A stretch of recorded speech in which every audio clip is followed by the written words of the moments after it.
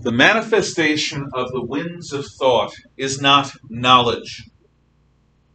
It is the ability to tell right from wrong, beautiful from ugly.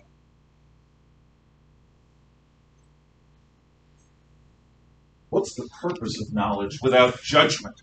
What is the purpose of mind without the ability to discern good from evil?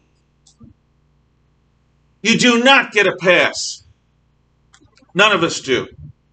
We are responsible for what we see and what we do. We are responsible for what we allow to be done in our presence, without our comment, and with our comment. Nazi Germany happened because the German people had enough people, a critical mass of them, who stopped thinking and who let the ideology think for them. You have people waiting in your future ready to seduce you into their ism, whatever that ism might be, and your own goodness, your own sense of justice, of right and wrong, and of trying to be better than others who went before you is going to lend your credulity to these people.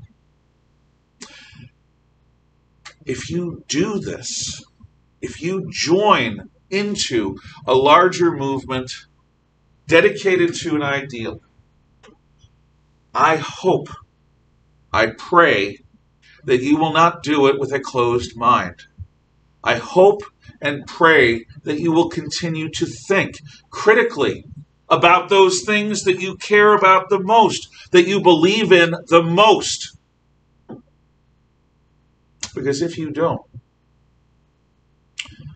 you risk undergoing the transformation that a cricket does or a grasshopper when it becomes a locust. You risk losing your individuality in service to the mob, a swarm, a collective mentality that human beings are prone to join.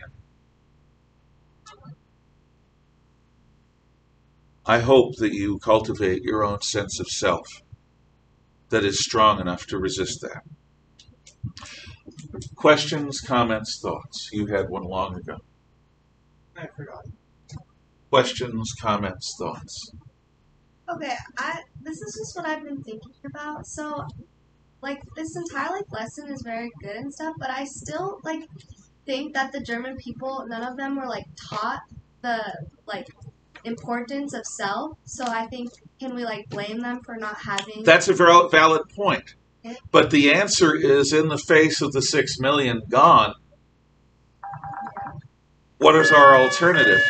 If we don't start by criticizing them, we then give ourselves a pass if we go down that road. But I, you know, your point is extremely well taken. Can you fairly judge someone on standards they don't even know? Thank you. Have a good day. If somebody would turn the lights on, I would appreciate it.